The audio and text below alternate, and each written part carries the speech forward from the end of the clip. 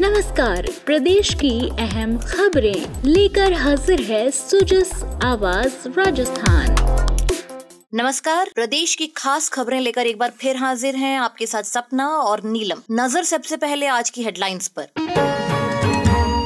प्रदेश के चिकित्सा संस्थानों में लगाए जाएँगे एक लाख पौधे। चिकित्सा विभाग चलाएगा हरी वन वृक्षारोपण अभियान।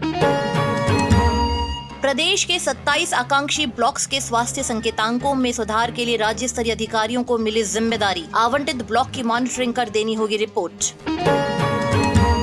मुख्य निर्वाचन अधिकारी ने मतगणना की तैयारियों को लेकर की समीक्षा बैठक मतगणना स्थल और मतगणना प्रक्रिया को लेकर दिए आवश्यक दिशा निर्देश।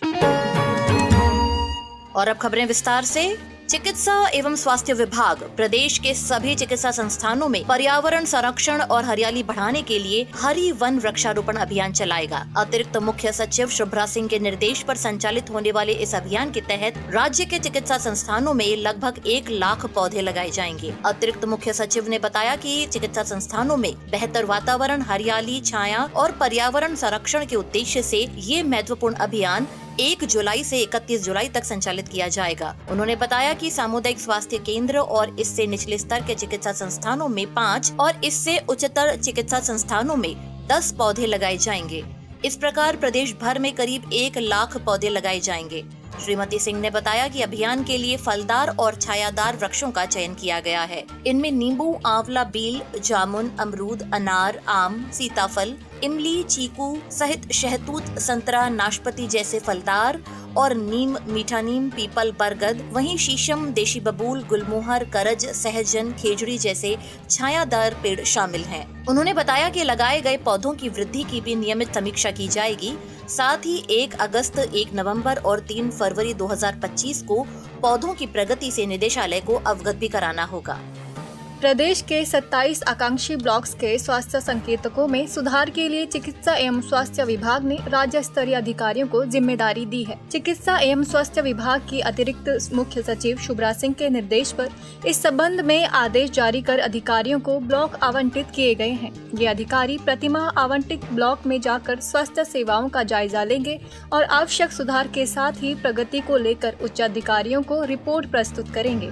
अतिरिक्त मुख्य सचिव ने बताया कि भारत सरकार ने देश भर में 500 आकांक्षी ब्लॉक चिन्हित किए हैं। इनमें से 27 ब्लॉक राजस्थान के हैं। यह वे ब्लॉक हैं जो सामाजिक आर्थिक संकेतकों में तुलनात्मक रूप से पिछड़े हुए हैं। इन क्षेत्रों के सतत और समग्र विकास के लिए उनतालीस विभिन्न संकेतकों में सुधार की रूपरेखा बनाई गई है, जिनमें सात संकेतक स्वास्थ्य सेवाओं से संबंधित है। श्रीमती सिंह ने बताया कि प्रदेश में 27 ब्लॉक में स्वास्थ्य सूचकांकों में सुधार की दृष्टि से मिशन मोड में कार्य प्रारंभ किया गया है। जिला कलेक्टर्स को इन ब्लॉक्स पर विशेष ध्यान देने के निर्देश दिए गए हैं। अब नियमित मॉनिटरिंग और सुधारात्मक उपायों के लिए राज्य स्तर से अधिकारियों की ज़िम्मेदारी तय की गई है। इन 27 ब्लॉक्स के स्वास्थ्य संकेतकों में सुधार होने से प्रदेश के स्वास्थ्य संकेतकों की स्थिति और भी बेहतर होगी।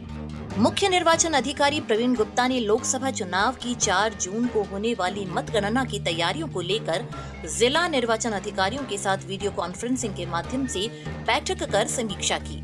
मुख्य निर्वाचन अधिकारी ने मंगलवार को वीसी के माध्यम से सभी जिला निर्वाचन अधिकारियों से कहा कि मतगणना को लेकर आयोग द्वारा दिए गए दिशा निर्देशों का गंभीरता के साथ पालन सुनिश्चित करवाएँ। श्री गुप्ता ने मतगणना स्थल की तैयारी, मतगणना स्थल के अंदर और बाहर सुरक्षा के इंतज़ाम मतगणना दल ईवीएम और पोस्टल बैलेट गणना, मतगणना के दौरान वीडियोग्राफी ईटीबीपीएस की गणना को लेकर तैयारी वीवीपैट पेपर स्लिप काउंटिंग और अन्य इंतजामों को लेकर ज़रूरी दिशा निर्देश दिए उन्होंने कहा कि ईवीएम की सुरक्षा व्यवस्था के पुख्ता इंतज़ाम रखे जाएँ और पूरी पारदर्शिता के साथ मतगणना की प्रक्रिया को पूरा करवाएँ।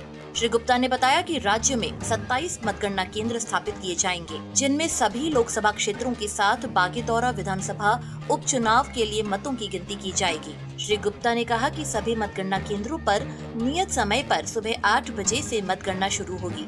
सबसे पहले डाक मतों की गिनती शुरू होगी, इसके आधा घंटे बाद सुबह साढ़े आठ बजे से ईवीएम में दर्ज मतों की गणना शुरू की जाएगी। पोस्टल बैलेट की गणना शुरू होने से पहले अधिकृत एजेंट उम्मीदवार को पोस्टल बैलेट के काउंटिंग प्रक्रिया के बारे में जानकारी दी जाएगी। साथ ही पोस्टल बैलेट की गणना समाप्त होने के बाद हर उम्मीदवार को मिले डाक मतपत्रों की घोषणा की जाएगी।